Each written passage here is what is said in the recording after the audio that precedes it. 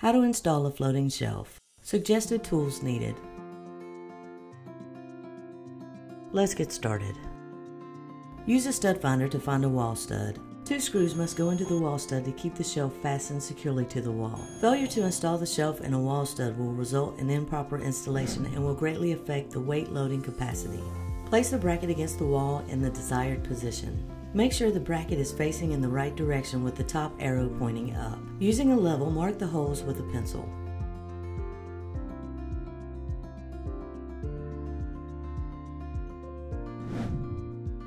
Using a power drill and drill bit, drill pilot holes into the wall marks.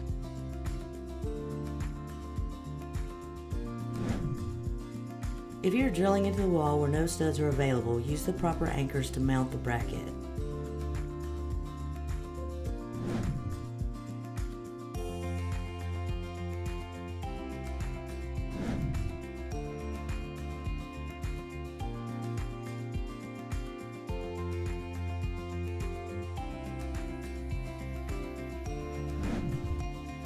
Using a power drill or screwdriver, drive provided screws into the stud or anchors, securing bracket to the wall.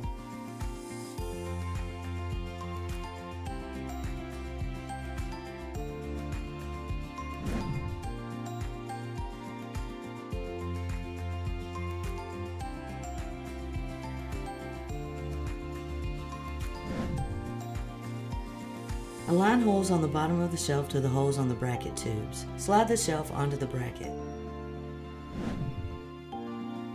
Then screw through the holes until the shelf is secured to the bracket.